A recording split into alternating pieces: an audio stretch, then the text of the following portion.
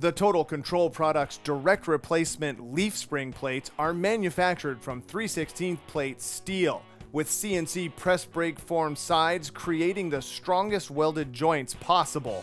They have radius gussets extending downward to add support at the shock mount tab, which has been upgraded to accommodate modern bushings and make more room for brake lines on common 9 inch housing conversions. The plates are designed for 2.5 inch wide leaf springs and can be installed on a variety of vehicles. Slotted holes enable the use of 2.25 to 3.25 inch diameter axle tubes. All corner welds are ground smooth for a handsome appearance, and the plates even feature large integrated tie down loops to make strapping your vehicle to a trailer easier. Check out TotalControlProducts.com for more information.